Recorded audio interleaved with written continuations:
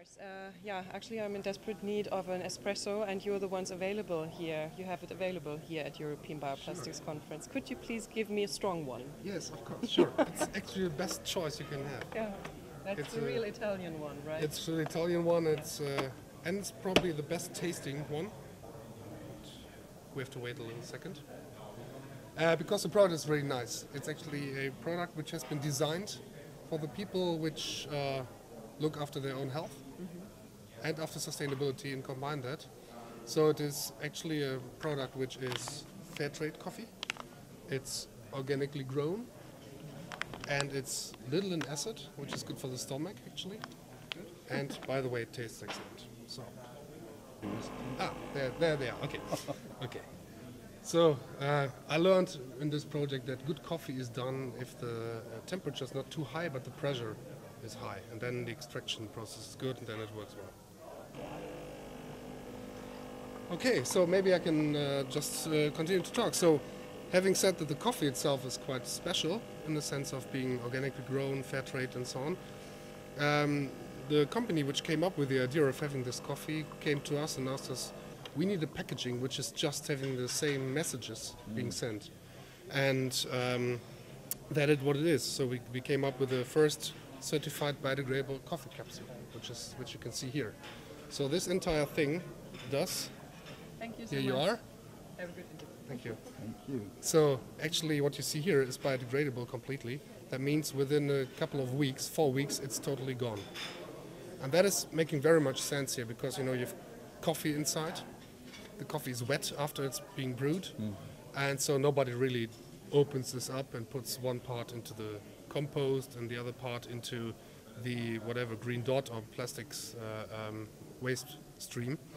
So altogether, it can be put into the composting, and that makes very much sense. The, the company that makes the coffee, um, Yes, it's actually the Swiss coffee company. The brand name is Beanarella. Right. It's a startup company. They just started last year, Okay. and they will start to grow this year in Christmas time. They want to offer the machine. The machine comes along with the coffee. They have different types of coffee, and they work together with the eldest uh, coffee making company in Switzerland, and that's why they get this good taste from. and this is a this is a, an extremely appropriate uh, blend of environmental concerns and marketing um, savvy. yes, yes. Yes, and and how have sales been? Do you know? Yeah, they are. Well, actually, they are limited by production capacity. So the, the sales are excellent. Could be higher, but uh, they are just into the multiplication phase. So sales are really good. It's picking up. The concept flies. People understand that it's making sense, and they can have this. You could say this is not a very um, sustainable way of coffee. I mean, you you have one capsule per one Oh, I cup. see. Yes. Yeah, like the Nespresso things, and um, but here you can combine that, so you can do a sustainable way of making capsules. Now I believe they've come up with an interesting way of of, uh, of end of life for the for the used capsules. You're that right. You're right. That's the key to it. I mean, it doesn't help to make it biodegradable if it's not biodegrading in the end.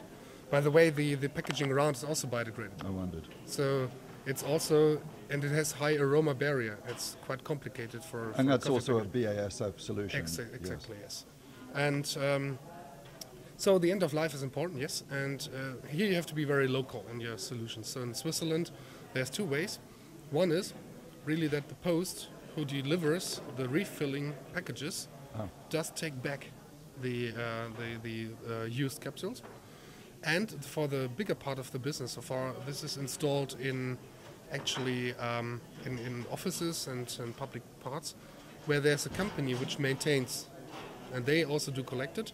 It's all sent to one facility uh, which does anaerobic digestion and afterwards a composting step. Is Beanarella available in retail stores or is it only available online? It's uh, for the time being, it is still only available online, and for uh, for bigger companies in terms of offices, they are just working on it. So you can find it online, and uh, they're just working on the retail market to find the right distribution. Now I know that you you're charged with sourcing new business opportunities for bioplastics within BASF. I mean, I'm bound to wonder if you've had a conversation with Nespresso. I'm not sure I can I can talk about this, but I can uh, assure you that there is a huge interest. This is uh, like a showcase, and we published it first in uh, on, on the K Fair uh, which was earlier this year, and uh, it really um, triggered a huge request from many companies. Well, I know you're winning lots of industry prizes, and congratulations on that, and good luck with them. Thank you very much for your Thank time. you very much. Thank you. Okay.